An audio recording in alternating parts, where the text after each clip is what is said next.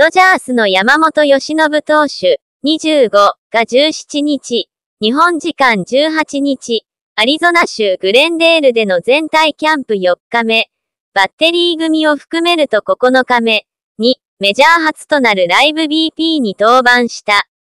ムーキー・ベッツ内野手31、フレディ・フリーマン内野手34の MVP コンビに、ゴールドグラブ賞5度受賞のベテラン、ジェイソン・ヘイワード外野手34、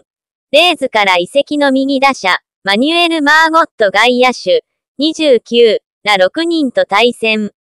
28球を投げ安打制の打球はベッツの詰まった当たり1本という圧巻の投球内容。真剣勝負ではないものの、フリーマン、ヘイワードらから3つの見逃し三振も奪った。最速は155キロくらい、山本、だった。登板後、対戦を見ていたドジャースファンからは拍手が湧き起こった。